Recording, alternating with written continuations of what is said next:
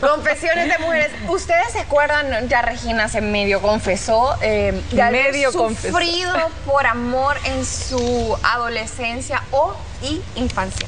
Y o infancia. Ay, yo sí, tengo historias de historias. Esta ¿De fue de yo? infancia. Pero yo creo que sufrimos muchas veces porque hay una etapa en que quizá los amores son bien platónicos.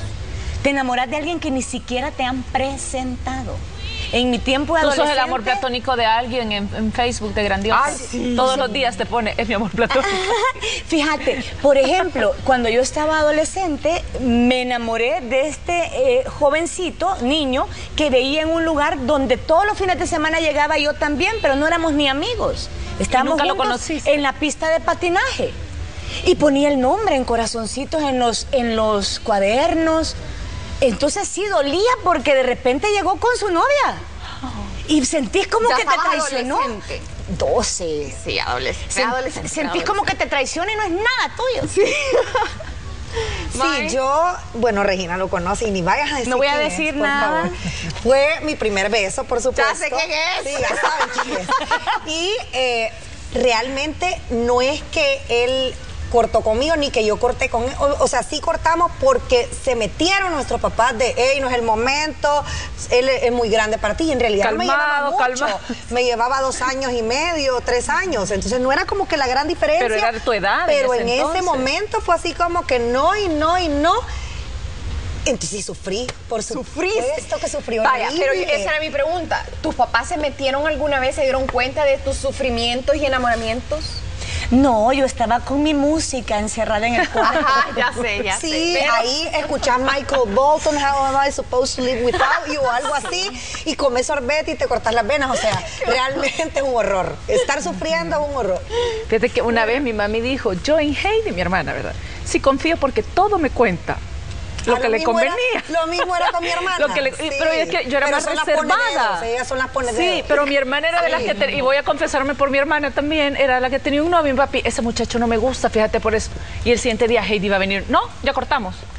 Y yo, "Ay, ¿cómo puede? Pero era quizás porque no se enamoraba. Mi papi ni no le gustaba, ella tampoco. Pero yo sí tuve un novio, ustedes también ya saben quién es. Ay, no, qué terrible. que por este novio, o sea, no fue rebel, o- sí fue rebeldía, pero no era aquella rebeldía de que no, no me importa. No, simplemente yo calladita, mi papi me prohibía tal cosa, ok. Me prohibía otra cosa, ok.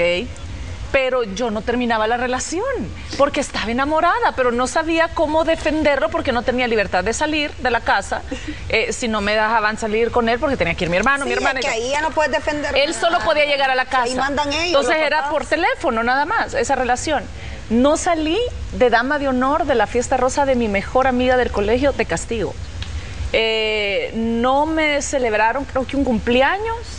Por y no me tener este acuerdo qué más, porque me decía, ah, seguís con la relación, pero mi papi, ¿con quién estás hablando por teléfono? Y yo le decía, ¿verdad? Pero es que yo no terminaba. Castigada. Entonces me decía, no salís, no O me sea, importa. que ahí Y te hicieron sufrir por y esa- amor. y Entonces, esa época- sí. O sea, esa época no era como la de ahora, que los bichos se esconden con un No, celular. yo Ay, no, o sea, era- el El teléfono. Sí, el telefonote y Pues en, la- sí. en el recreo del colegio sonaba la campana del ¿Sabe qué recreo y corrías al público porque te iba a llamar el ¿Sabes qué hacía? So- yo sabía que me iba a hablar, ponerle 7 de la noche, porque después de las 8 ya no podían hablarte por teléfono en la casa. Ay, sí. Pero el teléfono estaba en un pasillo y mi papi estaba viendo tele en la otra sala y yo sabía que a las 7 el teléfono iba a sonar. Me iba a sentar a la silla del teléfono y solo ¡ring! Hola, para que mi papi no viera que Que el teléfono hablando había sonado. el ¿Y tú? Entonces viene el, tiempo, pasó el tiempo y una vez mi papi me hizo, ya grande, te quería, vea, me dijo. Ay, Creo que te no, quería yo. ¡Qué papá!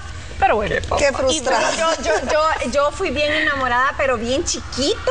Y luego hasta ya gran, bien grande. Todas mis amigas en el colegio tenían novio.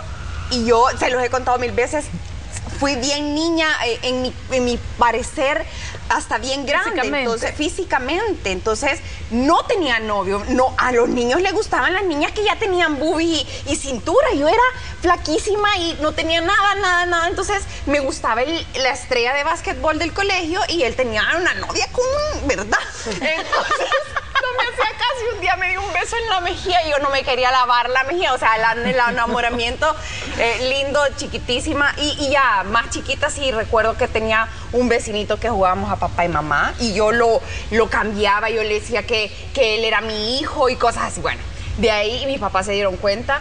Eh, y nos tenían así como súper, ¿qué, qué estábamos haciendo? Pero estábamos súper chiquitos sin ninguna malicia.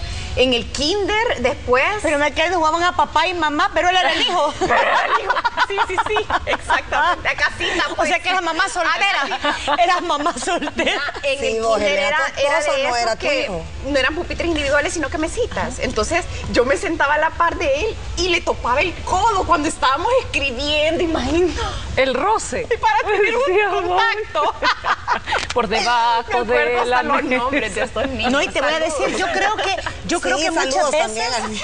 Es famoso sí. el mayor error de muchos papás hombres, lo voy a criticar un poquito porque eso pasa, es cuando la niña inocente llega con la historia del novio del kinder. Esa reacción que tienen, eh, tienen que medírsela. Porque yo he oído a veces a los papás decir enfrente de las niñas, aquí el que venga lo saco a balazos, el que. Entonces esa eso es niña. súper común. Pues sí, pero es lo que está escuchando. Lo que está escuchando. Entonces de repente cuando llega, te da pánico contar, porque has oído de que está chiquita, yo no voy a permitir. Entonces empiezan a hacer las cosas de lado, Afuera de la a escondidas. Bueno, señores, ya les contamos nuestras intimidades. Esto fue Confesiones de Mujer.